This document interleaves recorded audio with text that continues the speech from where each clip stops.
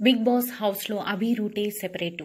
హౌస్లోకి ఎంట్రీ ఇచ్చిన కంటెస్టెంట్స్ అందరూ టాస్క్ల విషయానికి వచ్చేసరికి ఒళ్ళు హూనం చేసుకుని పెర్ఫామ్ చేస్తుంటే అభి మాత్రం ఇక్కడ తగ్గడం ముఖ్యమా నెగ్గడం ముఖ్యమా అని క్యాలిక్యులేషన్స్ చేసి ఒకవేళ ఇన్వాల్వ్ అయితే ఎంతవరకు ఇన్వాల్వ్ అవ్వచ్చు అని ఆలోచించి స్టెప్స్ తీసుకుంటాడు. కానీ మైండ్ గేమ్తో మాత్రం కంటెస్టెంట్స్కి పిచ్చెక్కించేస్తున్నాడు అభి. సో టాస్క్లలో అభి ప్రవర్తించే తీరు మిగతా కంటెస్టెంట్స్కి భిన్నంగా ఉంటుందని చెప్పుకోవచ్చు. టాస్క్లలో పెర్ఫార్మెన్స్ని హౌస్ మేట్స్లో కొందరు గేమ్ అని కన్సిడర్ చేస్తూ ఉంటే కేవలం టాస్క్లలో పెర్ఫార్మెన్స్ మాత్రమే కాదు ఇంట్లో ఎలా ఉంటున్నామన్నది కూడా గేమ్లో భాగమేనని క్లారిటీ ఇచ్చేశాడు. మొదటి వారంలో మోనాల్తో కొంచెం క్లోజ్గా ఉన్న అభి ఆ తర్వాత నుంచి మోనాల్తో డిస్టెన్స్ మెయింటైన్ చేస్తున్నాడు.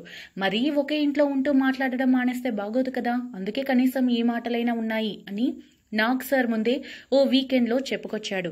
ఏదేమైనా అభికి కొన్ని ప్రిన్సిపల్స్ ఉన్నాయి వాటికి కట్టి కట్టుబడే గేమ్ ఆడుతున్నాడు. రీసెంట్గా బిగ్ బాస్ అభి అలాగే అఖిలలో ఒకరికి మోనాల్తో డేట్కి వెళ్ళే అవకాశం ఇస్తున్నట్టు టాస్క్ ఇచ్చాడు. నాకు ఈ టాస్క్లో పార్టిసిపేట్ చేయడం ఇష్టం లేదు అని అభి చెప్పడంతో బిగ్ బాస్ అఖిల్ను సెలెక్ట్ చేశాడు. బిగ్ బాస్ ఆదేశాలను ధిక్కరిస్తే ఏమవుతుంది? అని అభి అస్సలు ఆలోచించడు. తన ప్రిన్సిపల్స్కు విరుద్ధంగా ప్రవర్తించడు. తనకేది కరెక్ట్ అనిపిస్తే అది చేస్తాడు. తన మనసుకు నచ్చని పనిని బిగ్ బాసే కాదు. ఆ దేవుడు ఆదేశించినా చేయడు టాస్క్లో పెర్ఫామ్ చేయకపోతే తమ పెర్ఫార్మెన్స్ దెబ్బతింటుందని అస్సలు ఆలోచించడు. బిగ్ బాస్ తమ వ్యక్తిత్వానికి టెస్ట్ పెడుతున్నాడని ఆ టాస్క్ను స్వీకరించాలా వద్దా అన్నది కంటెస్టెంట్ నిర్ణయమని అభి నమ్ముతాడు. నిజానికి అభి ఇప్పటి వరకు కెప్టెన్ కాలేదు. నిజానికి కెప్టెన్సీపై అభికి ఇంట్రెస్ట్ కూడా లేదు. స్టార్టింగ్లో అభికి కెప్టెన్సీ కంటెస్టెంట్గా అవకాశం వచ్చినప్పుడు హౌస్లోని కంటెస్టెంట్ ను బాగా అర్థం చేసుకున్నాక కెప్టెన్ అవుతానని సూటిగా కెప్టెన్సీను తిరస్కరించాడు. అలాగే ఎడ్యుకేషన్కి అభి ఇంపార్టెన్స్ ఇస్తాడని కూడా కొన్ని సంఘటనల్లో రుజువైంది. అలాగే ఏజ్ ఫ్యాక్టర్కి కూడా అభి బాగా ఇంపార్టెన్స్ ఇస్తాడని ఇంకొన్ని సంఘటనల్లో వెల్లడైంది.